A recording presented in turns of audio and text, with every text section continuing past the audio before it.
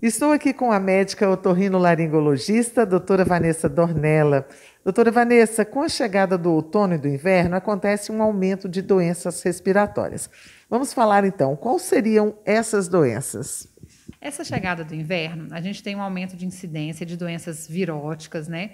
Principalmente, tem as bacterianas. A maioria dessas doenças são as gripes, de forma geral, os resfriados, as pneumonias, as amigdalites e as faringoamigdalites, né, as faringites, sinusites e as otites.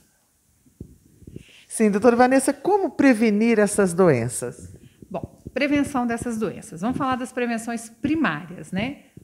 É, vacinas, tá? É muito importante vacina contra gripe. A gente está tendo aí, né, voltando os casos de Covid, então a vacina contra a Covid, para quem ainda não se vacinou prática de atividades físicas, principalmente ao ar livre, né?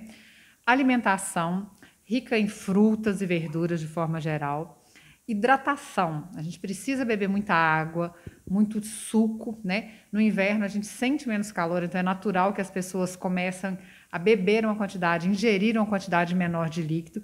E essa hidratação, ela prejudica essa resistência, né? a resposta a essas infecções respiratórias compartilhar talher, copo, né, porque você acaba tendo contato, ambientes fechados. Com a chegada do frio, as pessoas começam a fechar as casas. E aí se aumenta a incidência dessas doenças. Então, a gente, mais do que nunca, é época da gente deixar as janelas e portas abertas para o ar circular, né? E, se preferencialmente, deixar o sol entrar, né? Ambientes limpos, ventilados se possível, com contato de sol. Doutora Vanessa, e as crianças e os idosos, eles são os mais afetados com essas doenças? Sim, a gente vê uma frequência dessas doenças muito mais comum em crianças, principalmente as crianças que estão aí a faixa etária até 4 anos e nos idosos acima dos 60. Isso se deve em função do sistema imunológico desses pacientes, que nessas faixas etárias têm algumas particularidades.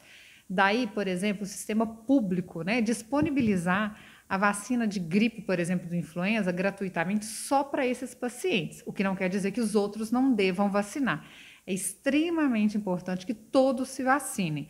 É claro que as pessoas, né, essa faixa etária de 5 até 59 anos, elas vão ter que pagar por essa vacina. Mas não é uma vacina cara, eu acho que é um investimento que vale muito a pena. Sim, os idosos acabam se esquecendo, né, de beber água, de se hidratar. Sim, o idoso, de forma geral, ele não gosta de água. Então, ele não bebe água. Até porque eles vão mais ao banheiro, a dificuldade é o banheiro. Então, assim, uma coisa que eu gosto muito de orientar é a garrafinha. Porque aí você combina com o idoso assim: olha, essa garrafinha tem 500 ml. Então, a gente precisa de beber no mínimo quatro garrafinhas dessas além do suco e do chá que a senhora vai beber, né? O ideal seria uma ingestão aí para um adulto, idoso, desde que ele não tenha nenhuma comorbidade renal, cardíaca que impossibilite isso, mas os adultos de forma geral, de 3 litros de líquido dia. Doutora Vanessa, e como seria o tratamento para essas doenças respiratórias? Bom, o tratamento de doença respiratória depende muito de cada doença. Agora, tem uma coisa simples e que é preventiva e tratativa, que é a higiene nasal com soro.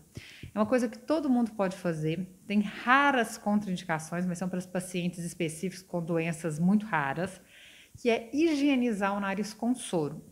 Isso é uma coisa que todo mundo deveria fazer todos os dias, sem sintomas, pelo menos de manhã e à noite, né? Eu costumo brincar com os pacientes, é igualzinho você não escova os dentes para prevenir as cáries, então você tem que lavar o nariz, higienizar o nariz para prevenir. E cada doença dessa tem uma particularidade de tratamento.